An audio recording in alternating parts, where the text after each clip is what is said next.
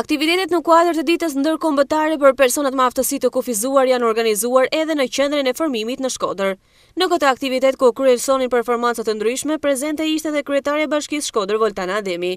Ajo në fjalimin e saj u shpreh se të gjithë duhet të sensibilizohemi ndaj këtyre personave, pasi të gjithë ne mund të bëjmë diçka më shumë për ta. Kryebashkiakja në fjalimin e saj u shpreh më tej se investimet por edhe shërbimet në këtë institucion janë përmirësuar dukshëm.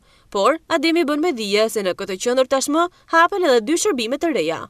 Sot na festojmë një ditë të rëndësishme për me promovu të drejtat e njeriut dhe të drejtat e të gjithë fëmijëve që kanë aftësi ndryshe.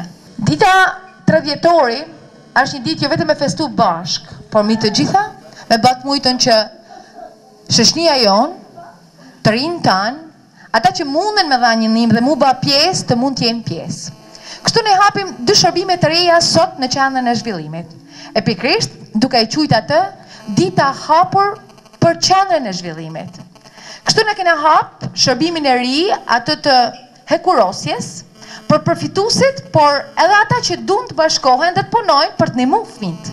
E nga ana tjetër po Vazhdojmë punën, por në sajt të një investimi që është realizu para dy vitesh, ne shkojmë drejt konsolidimit dhe bajmë të mundur që të hapim serën jo vetëm për fëmijët, por edhe për të gjithë ata që dunë me dhanë një fidan. Në Qendrën e Zhvillimit ofrohen shërbime rezidenciale ku janë dyzet e gjashtë fëmijë që marrin këtë lloj shërbimi.